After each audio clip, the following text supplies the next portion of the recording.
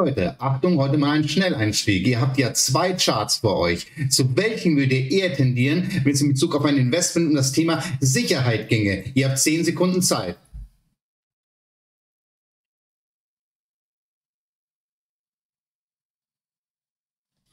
So, dann kommen wir auch schon zur Auflösung. Hier auf der linken Seite, das wäre einmal der X-Trackers MSCI World gewesen und auf der rechten Seite, haben vielleicht einige schon bemerkt, einmal der Bitcoin. Was es nun mit diesem überfallmäßigen Auftakt zugrunde liegt, heute im Video. Hi Leute, nochmals herzlich willkommen bei Jeder Euro zählt. Ich bin Steve und heute geht es um den Bitcoin. Ich habe mich ja in meiner Anlagestrategie für 2023 schon ein bisschen über Bitcoin ausgelassen. Warum ich jetzt heute noch mal ein spezielles Video über Bitcoin mache, beziehungsweise auch, ob es ein sicheres Investment ist oder auch nicht. Ähm, dementsprechend, ich habe einen Artikel auf NTV gelesen, der ist mir ein bisschen sauer aufgestoßen. Auf den schalten wir auch schon gleich um. Jetzt geht's los. Eben noch eine kurze Anmerkung von mir. Wenn ich heute nur von Bitcoin spreche, soll das nur ein Platzhalter sein. Ich beziehe mich natürlich auf sämtliche Kryptowährungen, vielleicht nicht alle, aber auf die meisten von denen, die derzeit handelbar sind. Bitte auch Verständnis dafür, weil ansonsten würde es den Rahmen des Videos sprengen. So, da sind wir auch schon mitten im Artikel. Link wie immer in der Beschreibung. So, die meisten Kryptowährungsanleger lassen sich einer Umfrage zufolge in ihrem Vertrauen in Bitcoin und Co. nicht erschüttern. Zwei Drittel der Befragten stufen ihre Investments als eher sicher ein. So, und hier möchte ich natürlich gleich nochmal ganz deutlich einhaken. Legen wir einfach mal ein Investment zugrunde. Und wer die Grundlage verstanden hat, der weiß ganz genau, umso geringer die Renditeerwartung, umso höher ist zumeist auch die Sicherheit. Und natürlich auch umgekehrt. Jetzt bei Bitcoin und Co. Zwei Drittel dieser Befragten stufen in diese Anlageform als sicher ein. Ich gehe jetzt nicht davon aus, dass jemand, der in Bitcoin investiert, sagt, ja, pro Jahr mache ich meine 1, 2, 3 Prozent und bin auch glücklich. Das ist eh problematisch natürlich auch der 10-prozentigen Inflation, beziehungsweise die ist jetzt gefallen auf die 8,6 Prozent. Aber beachtet ja bitte auch die Kernrate, das nur aber so nebenbei. Ähm, hier wollen die Leute natürlich Gewinne machen. Hier wollen sie hohe Gewinne machen. Und hier muss man ganz klar sagen, umso höher die Renditerwartungen von den Anlegern sind, das kann damit einfach nicht sicher sein, dieses Produkt. Oder wie seht ihr das? Schreibt es mir gerne in die Kommentare unten rein. Aber es ist einfach die Grundlage, sage ich jetzt mal, der Anlagephilosophie. Ich hänge mich jetzt auch gerade gar nicht am Bitcoin oder so auf. Wie gesagt, auch der Artikel, auch der Autor kann gar nichts dafür. Es geht eigentlich um diese Umfrage und eben anscheinend die Leute, die eben in Bitcoin investiert sind, waren oder wie auch immer. Ähm, was ist denn eigentlich ein sicheres Investment? Und für mich ist ein sicheres Investment einfach etwas, wo man sicher sein kann, dass am Ende der Laufzeit einfach zumindest das Kapital erhalten bleibt oder dass man zumindest eine kleine Rendite erwirtschaftet hat, wie zum Beispiel bei Bundesanleihen, Sparbriefen und so weiter. Diese Leute aber jetzt hier, die hier schon investiert sind, ich weiß nicht, ist es dieser Massenzwang, ist auch diese Bitcoin-Hysterie, auch diese Jüngerschaft, die ich schon angesprochen habe. Ähm, ganz, ganz schwierig, was für Leute hier anlegen. Dazu kommen wir auch noch später weiter unten. Aber wie gesagt, hier den Bitcoin als sicheres Investment anzuziehen, wie gesagt, wie Bart Simpson, der immer in die Steckdose reinfasst und sagt, oh, lass das. Also sprich, diese Leute haben nicht verstanden, meines Erachtens, meine feste Überzeugung, was denn eigentlich Anlage ist, was eine sichere Anlage ist und was auch dementsprechend spekulative Anlagen sind. Und das kann für diese Gruppe sehr, sehr gefährlich werden in Zukunft. Machen wir aber erstmal weiter im Text. Durchschnitt haben die Befragten weiteren Angaben zufolge etwa 14 Prozent ihres Gesamtvermögens in diese Anlageklasse gesteckt. Bei der Mehrheit belaubt sich die Summe auf mehr als 10.000 Euro. Bei denjenigen, die mit einem Investitionsvolumen von mehr als 100.000 Euro hätten, über die Hälfte mehr als 50 Prozent ihres Vermögens dort angelegt. Ich muss natürlich jetzt sagen, 14 Prozent vom Gesamtvermögen ist schon ein gewisser Brocken. Jetzt langfristig in Bitcoin investieren, finde ich gar nicht mal so verkehrt, aber ich würde hier maximal bis zwei bis drei Prozent vom Gesamtvermögen hineingehen. Weil wenn ich persönlich, also ich kann es nur von mir ausgehen, spekuliere, dann spekuliere ich richtig, aber gehe nicht unbedingt in Bitcoin rein. Was mich aber so ein bisschen hat ähm, aufhorchen lassen, so ein bisschen was die Ohren geschlackert sind, bei denen mit einem Verzugsvolumen mehr als 100.000 Euro, die legen über 50 Prozent ihres Vermögens da an. Da ist es natürlich, das ist Hardcore, das ist wirklich Hardcore, das ist hochspekulativ. Man hat jetzt ja auch den Chart gesehen, wie schnell es auch abwärts gehen kann. Das finde ich mehr als dramatisch. Wie gesagt, ich weiß nicht, wie ihr das seht, aber ähm, mit einer richtigen Anlage, Philosophie, mit einem Plan, den man hat, hat es meines Erachtens nicht viel zu tun. Schauen wir aber nochmal weiter. Und das ist nämlich auch nochmal ganz interessant. Insgesamt seien mehr als 2000 Personen im deutschsprachigen Raum befragt worden, stimmt die Autoren in der Umfrage. Die seien überwiegend höher gebildet und einkommensstark. 43 Prozent einen Hochschulabschluss. Das durchschnittliche Bruttomonatseinkommen liegt bei 4.800 Euro. Sie informierten sich hauptsächlich in der Fachpresse über digitale Anlagen.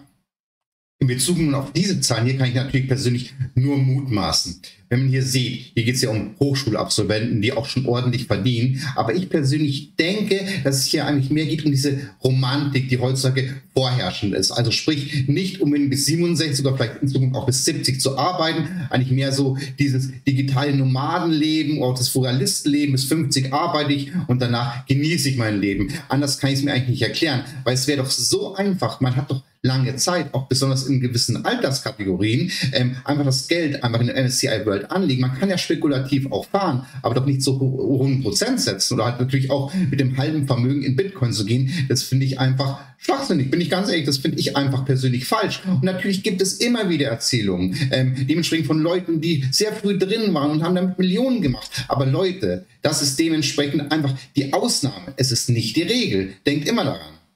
Und natürlich werden jetzt die Ersten wahrscheinlich schon wieder sagen, oh Steve, was mischst du dich hier ein? Du hast doch keine Ahnung. Warum mische ich mich ein? Ich möchte euch teilweise echt vor Schlimmerem bewahren. Und wir können ja auch gerne Challenge machen. Ich garantiere euch, wenn ich hier 1000 Abonnenten auf diesem Kanal erreicht habe, dann poste ich euch mal meinen besten Kurzzeit-Trade, den ich jemals gemacht habe. Und dann werdet ihr richtig mit den Ohren schlappern und dementsprechend richtig abdrehen. Aber wie gesagt, machen wir erstmal weiter. Ich möchte einfach nur ein bisschen aufklärerisch hier wirken und dementsprechend sagen, Leute, spekulative Sachen machen ja, aber bitte übertreibt es nicht. Es kann euch, wie gesagt, hart und gut kosten.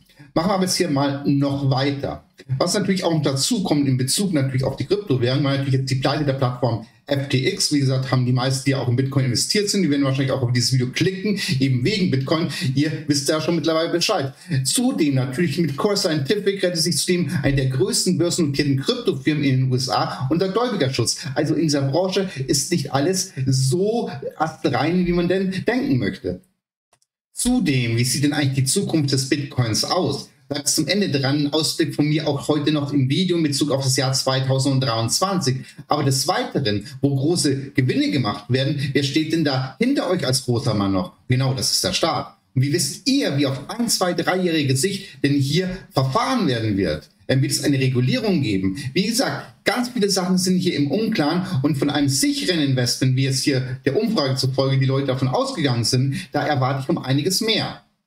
So, und bevor die ersten Kommentare jetzt schon wieder eintrudeln, du hast hier nur auf ein Jahressicht gemacht, das kann ja jeder. Hier nochmal die zehn Jahressicht. Und Leute, es geht mir nicht darum, euch Bitcoin madig zu reden. Ich sage einfach nach wie vor nur, ähm, gewissen Prozentsatz sehr gerne spekulativ und da bin ich die erste ähm, äh, Dingsinstanz, die sagt, ja, natürlich spekulativ kann man viel Freude haben, kann man viel damit machen. Da, da bin ich auch richtig geil drauf und dieser wir auf dem Channel auch noch einiges hier besprechen. Aber nach vor, es geht um die sichere Anlage und die sehe ich in Bitcoin in keinster Weise gegeben. Hier haben wir noch mit 10 Jahressicht und hier scrollen wir ganz kurz eben mal nach unten, weil da sehen wir auch noch mal die ähm, unterschiedlichen ähm, Zeiträume und da kann man noch mal schön ähm, schauen, was ist denn jetzt hier eigentlich sicher und was ist weniger sicher. Hier einmal nach wie vor nochmal der X-Trackers MSCI World und hier seht ihr einmal auf eine Jahressicht hat er gerade mal 12,43 Prozent vorn, im Gegensatz Bitcoin 61 Prozent. Also sicher ist für mich anders. Dann gehen wir auf die Drei-Jahres-Performance. Hier hat der Bitcoin die Nase vorn, muss man sagen, klar, da hat er definitiv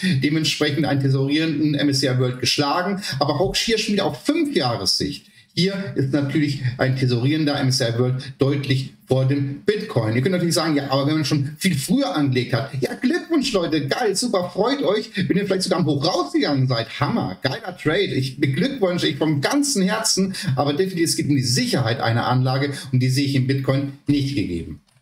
So, dann kommen wir eben noch zu meinem kurzen Fazit in Bezug auf den Bitcoin. Habe ich zwar schon erwähnt gehabt in meiner Anlage für 2023, aber nur der Vollständigkeit halber. Ich sehe es so ähnlich wie bei Growth-Aktien. Wenn dementsprechend die Zinswende kommen sollte, also sprich, dass wir wieder mit fallenden Zinsen rechnen können, dann werden A, Growth-Aktien und genauso wieder Bitcoin im, äh, sage ich jetzt mal Schlepptau, wieder eher nach oben tendieren. Äh, bis dahin wird dementsprechend die Marktlage sehr, sehr Schwierigkeiten eben sagen wir, für die Growth-Aktien sowie für den Bitcoin. Aber wie gesagt, nach wie vor kann der Bitcoin natürlich auch wieder alte Höchststände erreichen. Das möchte ich auch gar nicht ausschließen. Aber wenn es um die Sicherheit einer Anlage geht, ich bitte euch, der größte Teil eines Vermögens sollte, wie gesagt, in solchen Anlageformen äh, stecken, wie zum Beispiel in MSCI World, in Tesorien und für mich auch ausschüttenden Fonds. Ich bevorzuge diese tesorierende Variante. Und wenn ihr spekulativ was machen möchtet in Bitcoin, macht das aber bitte nicht mit so einem großen Anteil eures Vermögens.